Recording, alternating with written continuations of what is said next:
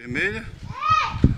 Faremos agora como se fosse uma viagem para da história.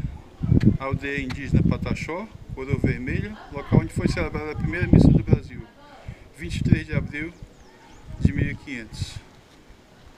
Vamos seguindo e vendo nossa história sendo registrada no meio da, da aldeia Pataxó, com belas e rústicas imagens acerca da nossa história. Interessante é que a gente vê as imagens e vê também o povo nativo que aqui, que aqui habita.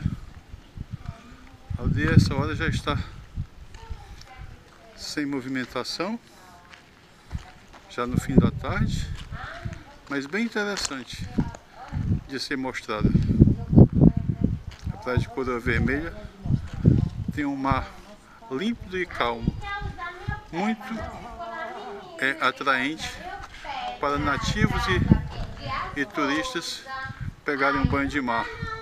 Bem interessante também para a pesca. Você já viu que o menino é um menino que corre pra caramba? Continuo é, fazendo as filmagens da nossa história. Infelizmente com alguns percalços de transeuntes, mas isso faz parte.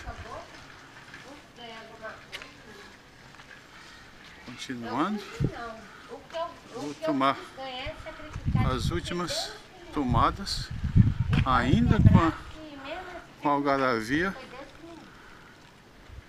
de alguém que está sendo um pouco inoportuno para essa, para essa tomada. Mas não vai ter problema. Estamos findando o nosso passeio, esperando